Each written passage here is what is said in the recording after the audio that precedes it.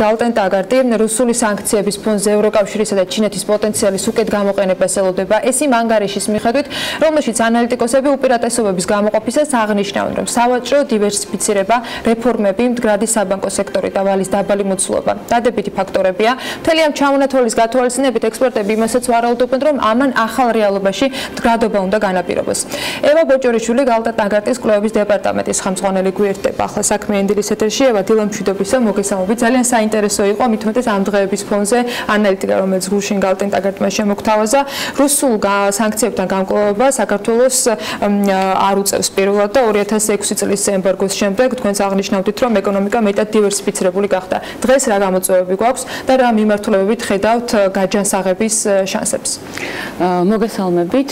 ანუ სანამ დავიწყებ ზოგადად შეფასებას მოკლე მიმოხილვას გავაკეთებ საქართველოს რუსეთის ეკონომიკური კავშირებთან დაკავშირებით ანუ როგორ უყურებთ ამ კავშირებს ვფიქრობ სამ ძირითადად რა შემოსავლებიც გვაქვს რუსეთიდან. ეს არის ექსპორტი, ფულადი გზავნილები, ტურიზმი და პირდაპირ უცხოური ინვესტიციები. ან უნდა გამოიყოს რომ ბოლო წლებში განსაკუთრებით დამოკიდებული გავხდით რუსეთზე ექსპორტის და ტურიზმის მიმართულებით, ექსპორტის მას შემდეგ მას შემდეგ რაც განახდა სავაჭრო ურთიერთობები რუსეთთან 2013 წლიდან და რაც შეეხება ტურიზმს, აი ბოლო პერიოდში განსაკუთრებით გაიზარდა საქართველოს პოპულარობა რუს რუს ვიზიტორებს სექტორებში, ხარად შეეხება ფულად გზავნილებს, აქ ანუ დამოკიდებულება შემცირებულია, იყო დრო, როდესაც ანუ საქართველოს ნახევარზე მეტი ფულად გზავნილები რუსეთიდან ირიცხებოდა, ეხლა ეს არის დაახლოებით მთლიანი 25%-ზე 25% და რაც შეეხება პირდაპირ უცხოურ ინვესტიციებს რუსეთიდან, აქ ზოგადად ანუ დაბალდონეზე არის არ არის რუსეთი მსხვილი პირდაპირ ინვესტორი საქართველოსთვის. ეხლა რაც შეეხება რუსეთის პრეზიდენტის გადაწყვეტილებას და ავიაფრენების აკრძალვას ივლისიდან და რა გავლენა შეიძლება ქონდეს ამას ტურიზმზე.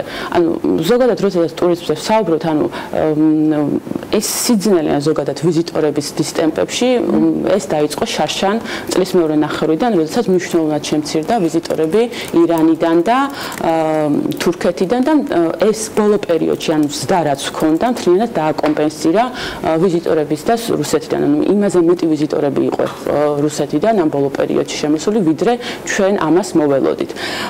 ეხლა ამ სიტუაციაში ხა რომ განვიხილოთ რა არის ჩვენი მოლოდინები, რა მოხდება წლის მეორე ნახევარში. ანუ წლის პირველ ნახევარში რუსეთიდან ვიზიტორები დაახლოებით 20 30%-ზე მეტით გაიზარდნენ და ეხლა რო შევხედოთ ანუ ხა ჩვენთვის საინტერესოა რა მოხდება მომავალ 6 თვეში.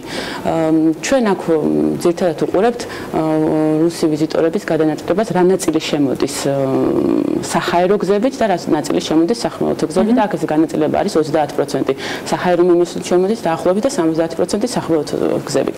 ანუ ჩვენ აქედან გამომდინარე ვარაუდობთ რომ მთლიანად არ გაქრებიან რუსი ტურისტები.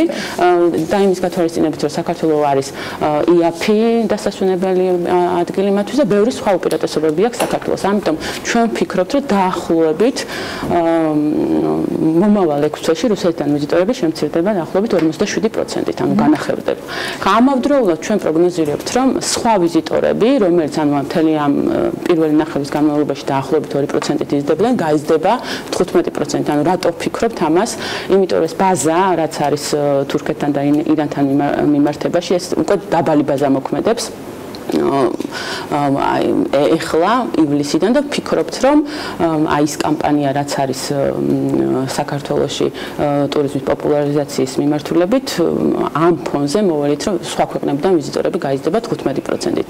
ხა რა იქნება ჯამური ზარალი ტურიზმის ინდუსტრიაზე იმის გამო რომ ველოდებით რუსეთიდან ვიზიტორების შემცირებას ჩვენ ფიქრობთ რომ ეს იქნება დაახლოებით 200 მილიონი დოლარი თუმცა უნდა აღვნიშნო რომ აი ამ ჩვენი გათვლებით წლის მეორე ნახევარში ტურიზმიდან მიღებულ შემოსავლებს იგივე დონეზე მოველით, რაც იყო შარშან. ანუ ზრდას აღარ პროგნოზირებთ წელს წლის მეორე ნახევარში, თუმცა ვარაუდობთ, რომ იგივე დონეზე იქნება. ეს პერიოდი, როდესაც ის პატარა ზრდის მაჩვენებლები, ანუ შედარებით ნაკლები ზრდის პროცენტულობა რაც იყო წლის პირველ ნახევარში, ხო იქნებოდა. აი ამ ნაწილში ზრდის ტემპის, თქვა, გადახედვა გალტის პროგნოზს როგორ მოუწევს დაახლოებით რამდენი პროცენტზე შეიძლება ზრდის მაჩვენებელი დაკოლექტდეს ჯამურად.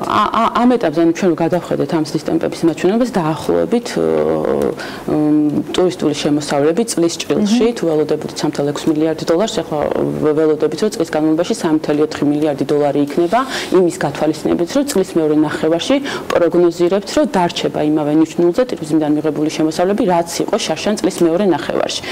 ეხლა აგრეთვე, როდესაც რუსეთის სანქციებს განვიხილავთ, აქ გამოვყავით, ანუ შესაძლო ემბარგო, ხაზი უნდა გაუსვა ამას, შესაძლო ღვინოზე, იმიტომ რომ ეს გადაწყვეტილება არ არის მიღებული და მოლოდინია რომ არ განხორციელდება, თუმცა ესეც გვაქვს განგარიშებებში ჩათვლილი და ანუ ჩვენ ვარაუდობთ, რომ იმ შემთხვევაში თუ ეს განხორციელდა, დაახლოებით 60 მილიონი დოლარი დაგვაკლდება ღვინის ნაწილში, ღვინის ექსპორტიდან შემოსავლები რუსეთიდან. ეხლა საინტერესოა ჯამურად ამას რა გავლენა შეიძლება ჰქონდეს ეკონომიკაზე და როგორი იქნება ეკონომიკური ზრდა.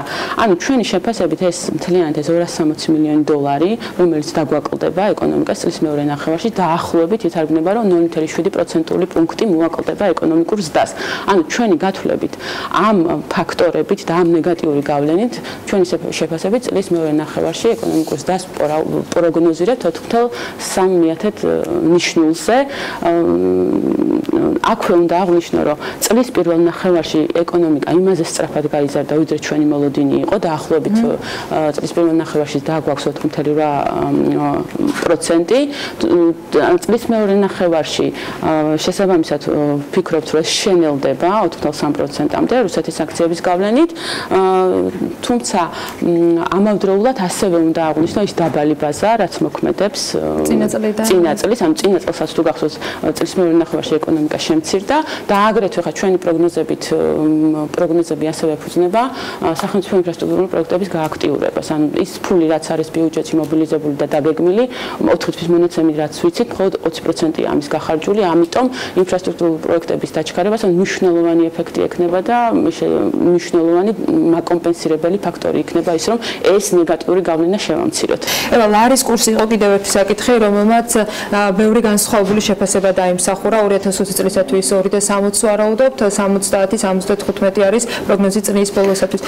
დღეს რა ხდება? მოდი ჯერ ამაზე მინდა თქვენი აზრი და შეფასება მოვიცნოთ. დღეს რა განაპირობებს იმას, რომ ლარი დაბადებიდან დღემდე ყველანაირ რეკორდებს ხსნის, როგორც ნუ არტი რეკორდებს და რა მოლოდინები შეიძლება ქონდეს? რა შეიძლება ახდენდეს გავლენას დღევანდელ კურსზე? ანუ დღევანდელ კურსზე შეიძლება ახსენდეს ნებისმიერი ინფორმაცია, ხა ფიქრობთ, რომ ეს გაურკვევლობა მოქმედებს კურსზე, რაც არის და ჩვენ სანუ ჩვენ ჩვენ სკოლაში არის გამორიცხავდით, რომ ამ გაურკვევლობა მოკლებადიანი მერყეობა შეიძლება მნიშვნელოვნად გამოიწვიოს, თუმცა ფიქრობთ, რომ წილის მეორე ნახევარში ანუ როგორც აღნიშნეს, საშუალოდ ლარდოვარის გაცვლითი კურსი უნდა შენარჩუნდეს 2.7-2.75-დან ახლოს. ახლა რატო ვფიქრობთ ამას? იმიტომ რომ ზოგადად წლის პირველ ნახევარში ან ჩვენი გათვლებით ლარი იყო ზედმეტად გაუფასურებული დაახლოებით 7% სხვადასხვა მიზეზების გამო, მიუხედავად იმისა, რომ საგარეო ბალანსი იყო იყო გაუმჯობესებული. აქედან გამომდინარე, იქიდან იქიდან გამომდინარე ეს ფაქტორები, რაც წლის პირველ ნახევარში მოქმედებდა გაუფასურების მიმართულებით, ახლა აღარ ველოდებით, ეს არის ინტერვენციებს ანუ არ ველოდებით ამ ეტაპზე, იმიტომ რომ რაც ძალიან კარგია რეზერვები გვაქვს უკვე ადეკვატურ ნიშნულზე, აგრეთვე სხვა ფაქტორები, რომელიც უკავშირდებოდა თურქული ლირის გაუფასურებიდან მომდინარე მოლოდინებს და ასე შემდეგ, ეს ფაქტორები აღარ არის ამის გათვალისწინებით ვფიქრობთ, რომ ამ საშუალო შეწონილი გაცვლითი კურსი უნდა დარჩეს აი ამ 2.7-2.75-თან ახლოს. თუმცა მომდევნო წლიდან რა თქმა უნდა ჩვენ ველოდებით გაუმჯობესებას შემდგომში. რა შეიძლება გახდეს ამის საფრთხის შემცველი? იმიტომ რომ დღეს ანტიკრიზისული გეგმა არის შესამუშავებელი, ბევრი ხაზზე არის აპასუხო ღვინზე, ღვინზე დაშვება გავაკეთეთ ჯერ მხოლოდ, მაგრამ თუ ის დაშვებები და ის გათვლებები რაც არსებობს დარჩება, ისე როგორც თქვათ, დღეს აქვს გალც პროგნოზში გათვალისწინებული, ამის მიუხედავად ფიქრობთ, რომ 2.70-2.75 შეიძლება იყოს ეროვნული ვალუტის ამ ეტაპზე, ანუ ჩვენი გათვლებით, ანუ ჩვენი გათვლებით, ანუ ეს არის ის ნიშნული, იმის გათვალისწინებით, რომ ლარი ზედმეტად იყო გაუფასურებული წლის პირველ ნახევარში, ფიქრობთ, რომ საშუალო კურსი აი ამ ნიშნულზე უნდა შენარჩუნდეს. ანუ ზედმეტად გაუფასურებას არ მოვალით. თუმცა არ გამორიცხავთ ან მოკლევადიან მერყეობებს. გასაგებია. თქვენ ანგარიში კიდევ ქონდა ძალიან ბევრი საინტერესო მიმართულება, დეტალებს ალბათ დღეს ვერ ჩავყვებით, თუმცა ენერგეტიკა და იგივე იმპორტი.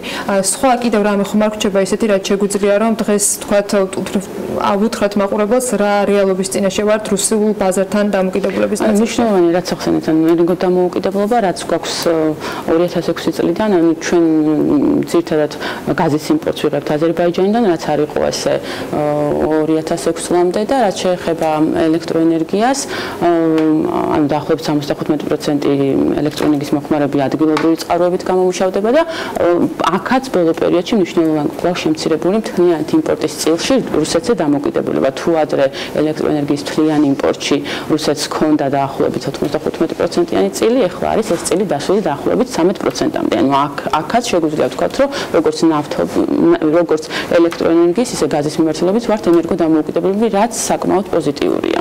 ეს განაცხადება რომელიც რამდენიმე დღეს წინ პუტინმა მოგვიცნა, შეგვიძლია დღეს გამოვიყენოთ ჩანსად იმისათვის, რომ მათ შორის ტურიზმში და ღვინის ნაწილში კიდევ ერთხელ მოახდინოთ ბაზრობის დივერსიფიცირება. მადლობა, ძალიან საინტერესო ანალიტიკისათვის, რომელიც გუში გამოქვეყნდა კიდევ ერთხელ შევახსენებ მაყურებელს და თქვენ მის დეტალურ გაცნობას შეძლებთ გალტენ ტაგარტის ვებგვერდზე, რა თქმა უნდა, გექნება შესაძლებლობა, რომ BMG-ზეც ნახოთ ამ ანალიზის ნაწილები. ევა ბოჭორიშვილს გალტენ ტაგარტის კლუბის დეპარტამენტის უფროს მასპინძლობდით საქმიანი დილის ეთერში